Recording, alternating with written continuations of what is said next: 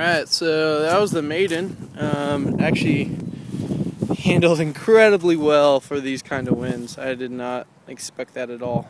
Um, but man, this thing is super fun, very agile. The roll rate is actually very slow. I don't know if that's just because I'm going into the wind right now. Um, but anyways, so maybe some bigger um, Elevons would would be a little better. Um, so other than that, uh, the I got these this main design just off of YouTube, and then I used this online CG calculator to figure out where the CG would be. And I'll, uh, which I kind of see right there. So I marked it on the bottom. It was like eight something. I don't remember. Um, then the motor mount, it's just a little custom motor mount thing. I have a little wood plate.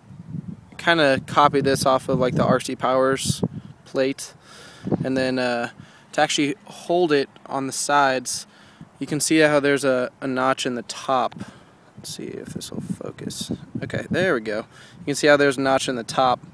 Um, so there's also notches in the side, which I cut out to allow the foam to uh, go inside those notches.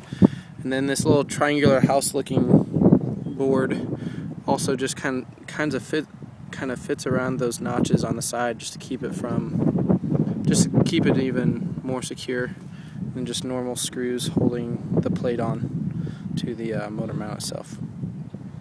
There we go. So overall, uh, a really fun design. You can kind of see I did a, a KF airfoil here. There's a step so this is made from Dollar Tree foam board. Um, and I actually don't have any supports in it right now, which I would definitely suggest you doing. Um, I don't know. It, it, was actually flying pretty pretty well, so um, you can definitely notice flex though, even if you just hold it. So you can flex it quite a bit. So some some carbon uh, tubes or something like that in there it would probably stiffen it up uh, really nice. So, uh, anyways, uh, that's that.